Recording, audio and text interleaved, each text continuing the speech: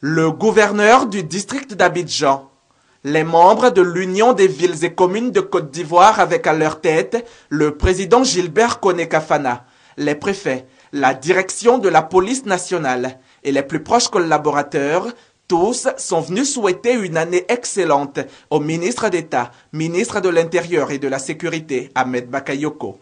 L'occasion également de faire des doléances. Que vaut un policier s'il n'a pas de toit?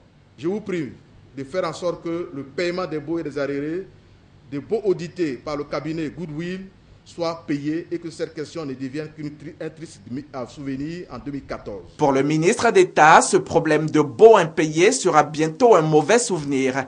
Mais mieux, toutes les dispositions sont en train d'être prises pour qu'il ne se pose plus. La question des baux. Oui, c'est un problème. Nous avons fait des pas.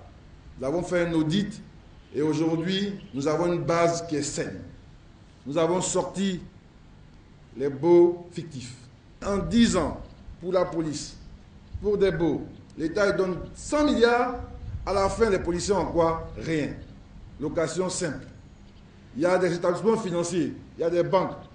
L'État peut donner des garanties. On peut trouver des terrains. On peut engager des programmes où nous, on garantit aux banques qui investissent que sur 10 ans déjà passés, c'est 100 milliards qu'on a dépensés.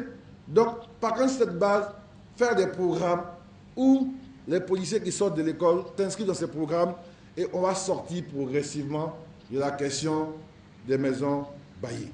Un policier, une maison, ce serait une belle récompense pour ces hommes et femmes qui chaque jour travaillent d'arrache-pied pour faire chuter l'indice de sécurité en Côte d'Ivoire. L'indice des Nations Unies relève dans un niveau d'indice classé de 5 à 1, donc 5 pour très élevé et 1 pour très bas, classe la Côte d'Ivoire aujourd'hui en janvier 2014 au niveau 2, qui est le niveau bas et qui est le même niveau que la ville de New York et la ville de Genève.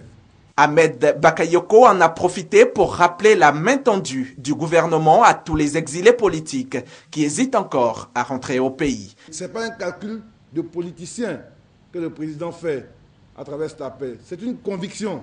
Il y a un moment où il y a des tensions. Il y a un moment où ces tensions-là ont amené des armes à faire feu.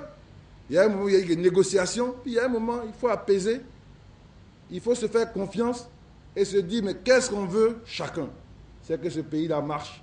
Ce vendredi 17 janvier reste pour les policiers, les préfets et sous-préfets de Côte d'Ivoire un jour important.